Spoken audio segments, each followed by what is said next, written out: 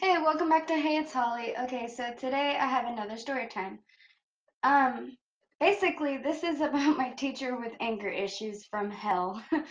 um, so this teacher was known for yelling at the kids, and not just a, oh, sit down, be quiet, kids, more like a, you better sit the fuck down before we go to fight. And then, and we, we didn't know what to think. We was just like, God damn, this guy needs therapy. And so, um, yeah, uh, one day, one day in specific, out of all the days of him yelling, I remember this one specifically because he took a desk and threw it down the hall. And I was just thinking, what the fuck is this guy's problem? Like, literally, like, I'm not gonna give out his name or anything, but no one liked him. And just, I, I didn't even know what to think. I literally I was just like, oh my god, like he literally just threw a desk down the hallway. Like one kid was laughing at him because he was getting so mad. And um I was just like, God, okay, it's really not that funny. He's actually kind of scary when he's mad. So we were just like kind of we like kids were laughing at him and stuff.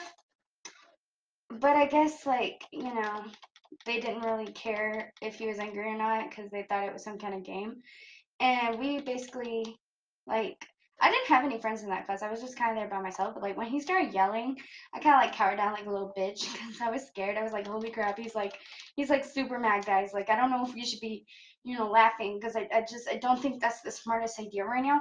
And I'm like, like can we just not? And next thing I know, he takes the desk. He he was about to put it out in the hall so someone could like a troublemaker could stay out in the hall, and um he ended up taking the desk, going outside and throwing that motherfucker way down the hallway. And all you could hear was like this, because it started like rolling down the goddamn hallway. And I was just like, holy shit.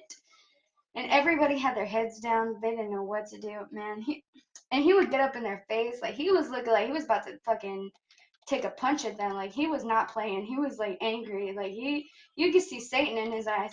And like, I just. I didn't even know what to do. I was just like, oh my god, no, can we just not? Not today, please? And um yeah, so he never got fired, but the thing is that he transferred over to my high school. So and this year, surprise surprise, I have him for history. So great. Um can't wait. yeah, so I'm to need some like soundproof earphones and some chill pills that I could probably share with him and be like, yo, dude, you need these. if he starts like yelling and throwing chairs or some shit. So, yeah, that was my mini story time. And uh, let me know down in the comments if you've ever had a crazy ass teacher like that.